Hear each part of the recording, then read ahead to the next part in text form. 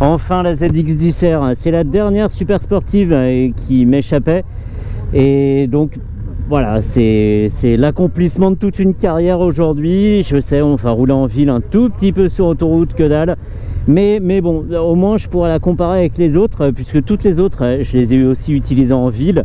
Donc je pourrais dire si on se rapproche plus d'une GSX r 1000, d'une Fireblade, d'une RSV4 ou quoi ou qu'est-ce. Et ça sera euh, déjà pas mal avec une bulle endurance complètement abusée. Le truc c'est plus haut que l'Everest, déjà une sacrée ambiance à bord, amortisseur de direction Hollins. La seule chose que je sais sur cette machine c'est qu'elle faut entre 20 et 21 000 euros, elle fait 203 chevaux pour 206 kg. On est bien. Et c'est un 4 cylindres. Donc c'est la famille, c'est tranquille, la confiance règne. Et elle est en mode sport. Et je vais la laisser en mode sport exprès pour pas avoir à machiner dans les menus pour voir euh, si euh, quand on a la flemme comme moi on peut garder le mode sport pour tous les jours ou si c'est clairement intenable. Il commence à faire très chaud j'avais oublié ce que c'était la chaleur. Et à cette drôle de boule de feu dans le ciel là qu'on appelle le soleil et ça faisait longtemps qu'on l'avait pas vu. Finesse bon je suis quasi non j'ai les deux pieds par terre hein. bien très bon point très bon point on n'est pas très haut euh, sur la selle pas comme sur la R1 GYTR où je touchais à peine des pointes ça m'avait fait très bizarre j'avais failli faire tomber la moto dans les stands et là, euh, là ça va. Sous les yeux, le TFT de 4,3 pouces, agencé exactement comme toutes les autres motos de la gamme. Je rappelle, on est en mode sport. Tout en haut, on a une shift light bien visible, bien au milieu. Et franchement, euh, l'ambiance est dingue. Fourche inversée Showa cartouche séparée, réglable sur les deux tubes. Du très haut niveau, shifter, blipper. C'est euh, très très bien une encoche pour le casque quand on a le nez dans la bulle. Que dire d'autre? Du Brembo, du gros, du lourd, du beau. Franchement, euh, ça ferait pas un bon slogan ça Du gros, du lourd, du beau, du Brembo. Ouais, ouais faut pas que je me reconvertisse dans la pub, hein, je crois. Bref. Euh, waouh. Elle a l'air chatouilleuse. Hmm. La position du jockey est bien présente. j'ai les genoux dans le menton. Ok, donc pour la position, on est euh, clairement sur quelque chose de très très sportif. Je pense à la hauteur de ce que j'avais vécu sur la, euh, sur l'Aprilia RSV4. On a une position vraiment euh, super recroquevillée sur la moto avec quasiment les talons sous les fesses et les genoux dans le menton, je le disais, il faut s'y faire et on est assez porté sur les poignets avec les épaules qui travaillent pas mal. Il faut se détendre, penser à serrer le réservoir avec les genoux et ça ira un petit peu mieux. On a un petit fonctionnement on-off hein, quand même pour maintenir un rythme stable en troisième ici. Ça fait des petites coupures, accélération, coupure, accélération, coupure. Alors c'est forcément le mode sport hein, qui veut ça, hein, plus de réactivité, plus de nervosité. Mais je vais pas changer de mode, comme je l'ai dit, on va rester comme ça. Ça permettra de mesurer l'ampleur du sacrifice qu'il faut concéder pour rouler avec cette machine tous les jours. Et c'est ça que je trouve intéressant parce qu'après on va me dire ça fait mal euh, devant un essai de sportive en ville, machin, euh, tout ce que tu veux Jean Hubert, mais euh, en fait, tu as des gens, après avoir claqué 21 000 euros dans une sportive, bah, soit ils ont plus euh, assez pour s'acheter une moto euh, du quotidien, le petit cheval, euh, je sais pas, une Z500 par exemple, ou même une Z125, et donc bah, qui font tout leur trajet là-dessus. Il y en a, hein, qu'on vienne pas me dire qu'il n'y en a pas ici, parce que j'en vois le type que je vois passer tous les jours en bas de chez moi en Panigal V4, il va pas se promener dans l'école de montagne, hein, il va clairement au boulot. Donc, ça existe, et il y a aussi des gens qui veulent pas rouler sur autre chose que des sportifs. Pour eux, c'est une sportive ou rien. Et donc, peu importe le sacrifice, tant qu'on a l'ivresse, on pourrait dire. Sacrée machine, hein. ah, c'est nul, il a même pas lu la fiche technique, le mec. Ah, tu m'excuses, j'en suis à mon quatrième essai de la semaine, je finis partout à mélanger là. Il y a eu des électriques, des thermiques, euh, certaines motos qui mélangeaient les deux. Là, clairement, j'ai le cerveau qui sature. Je vais te sortir que c'est un monocylindre de 15 chevaux à 10 000 tours et que la batterie fait 15,6 kWh. Enfin bon, bref. Allez, on roule, on roule. Et là, ça se gère bien. Hein. On est juste archi cassé, mais sur l'embrayage, on évolue tranquillement. On fait évidemment appel au couple du 4 cylindres. Et ça se passe euh, dans une euh, relative douceur. Je dis pas qu'on en oublierait presque qu'on est sur une ZX-10R parce qu'on a toujours le décor sous les yeux, mais en comportement, c'est pas abusé. C'est pas abusé. Là où j'ai hâte de voir, c'est la chauffe. Pour l'instant, on est à 94 degrés, donc on est à Val-de-Marne degrés. Maintenant, on est à Val d'Oise degrés. Ça monte, ça monte, 96 degrés. Il fait 29 degrés dehors, c'est énorme. Et quand tu es sur la moto, tu es à 90 degrés. Mais euh, géométriquement parlant. 97 hein. degrés. De mémoire, la RSV4, j'avais dû monter à 110 degrés en ville. Tellement chaud que je pouvais pas garder euh, mon pied sur le repose-pied droit parce que, euh, parce que ça brûlait à travers la chaussure, à travers le jean Kevlar. Je sentais la chaleur et, euh, tout ce que je voulais, c'est me remettre à rouler vite vite pour espérer atteindre les 90 degrés parce que c'était infernal, infernal.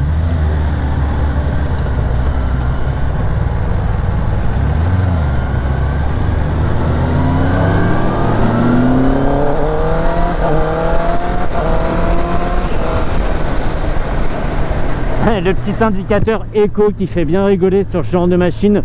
Je crois tu vois que c'est pas trop ma préoccupation euh, Kawasaki là. Mais bon il est là on le prend. Et c'est marrant.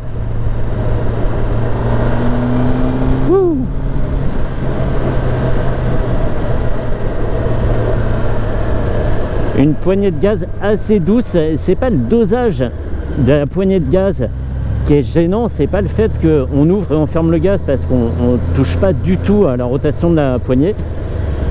C'est surtout euh, la réponse euh, bah, de l'injection en fait euh, qui fait ces petits à j'ai l'impression. Waouh, ça claque toute la gamme Kawasaki. Bah, j'ai tout conduit là. Il n'y a pas une moto qui m'a échappé. C'est fou, hein Ça file le vertige.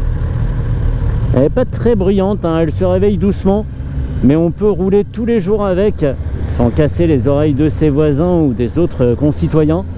Ça se fait tranquillement, ça ronronne peinard, un son très profond, un confort de selle qui est ce qu'il est, mais ça va, c'est vivable. De toute façon, faut pas s'attendre à mieux, mais je m'attendais clairement à pire. Et le freinage super dosable aussi. On a une jauge de, frein hein, en dessous à gauche. Euh, qu'est-ce qu'on peut avoir? Trip A, trip B l'angle angle maxi 54 à gauche 43 à droite totaliseur 800 bornes trip A, trip B etc etc bah, ça se prend en main super facilement je trouve. Le démarrage se passe bien on n'a pas euh, cette petite frayeur quand euh, ah bah oui samedi c'est mariage évidemment on se met au milieu de la route. On n'a pas cette petite euh, comment dire hésitation quand on conduit certaines sportives où on a du mal à trouver le point de patinage. L'embrayage est dur le gaz on sait pas trop comment le doser est-ce qu'on tourne plus moins mais si je tourne encore plus je vais m'envoler. Voilà ici super doux c'est comparable à la Fireblade que j'aime beaucoup et qui révèle son visage passer 12 000 tours Ici, j'aurais pas l'occasion de le voir. Mais je sais que c'est là. Même passer 5000 tours, ça commence à s'énerver bien comme il faut. Je vais filmer un petit peu plus loin, il y a un endroit où on va pouvoir ouvrir en espérant qu'il n'y ait pas de voiture de Mario au milieu de la route. Ça serait pas mal. J'ai senti un petit point chaud au-dessus de ma chaussure je vais éviter de toucher cet endroit avec mon pied droit.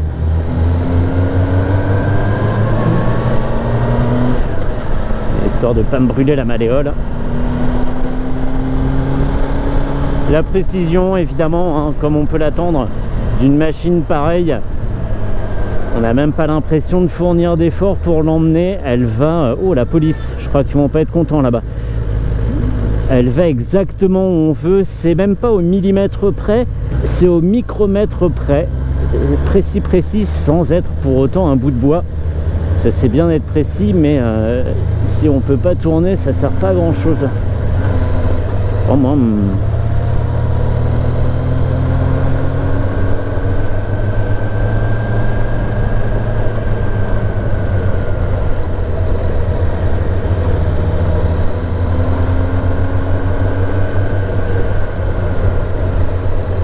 Là, j'ai l'impression d'être sur une moto tout à fait normale.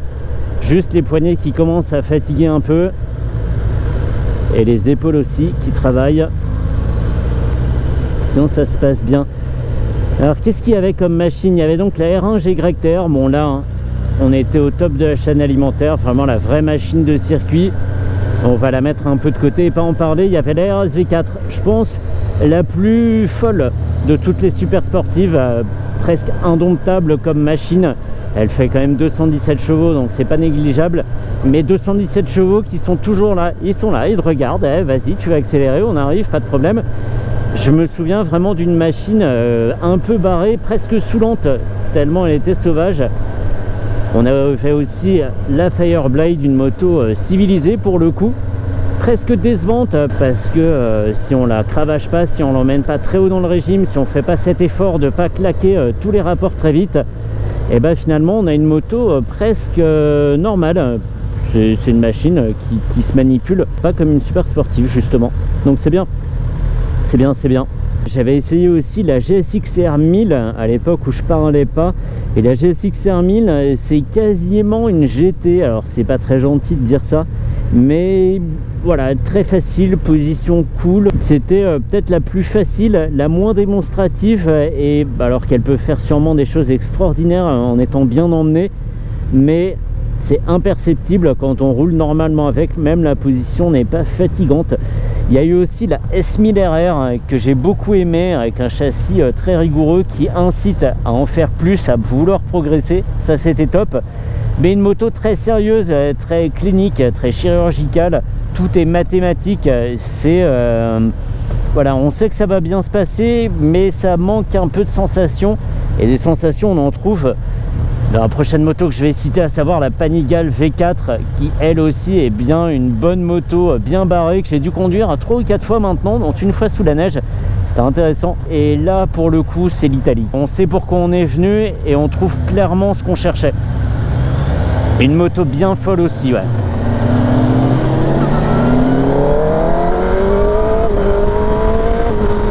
Et pourquoi ils se sont tous arrêtés là d'un coup? Ah mais non, c'est moi qui accélère.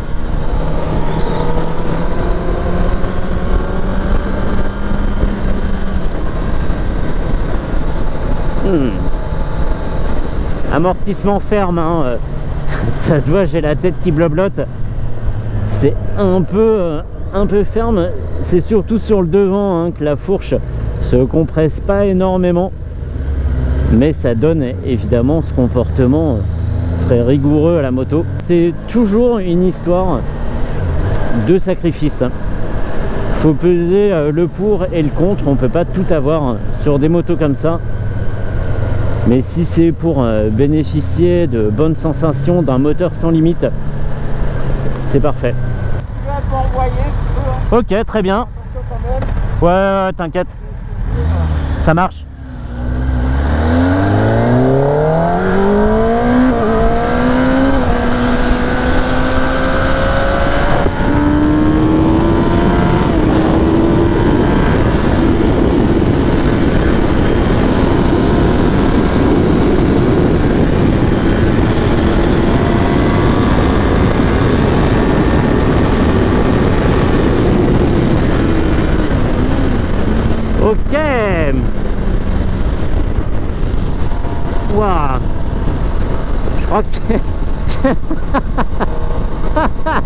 c'est une des rares fois où on m'entend pas parler en conduisant.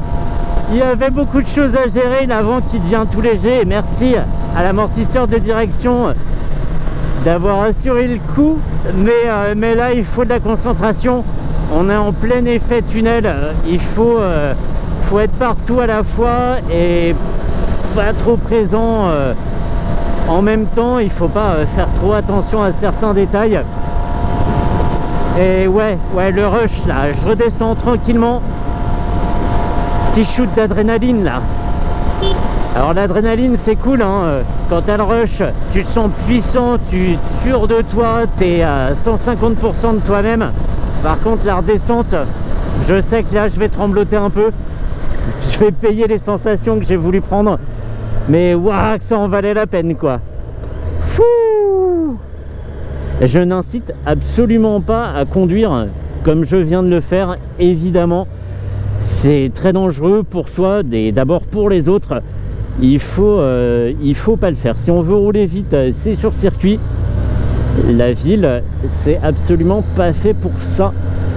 On connaît pas l'état de la route, on n'est pas à l'abri d'une tache d'huile qui n'était pas là 30 minutes auparavant, on n'est pas à l'abri de la personne qui pensait avoir le temps de déboîter.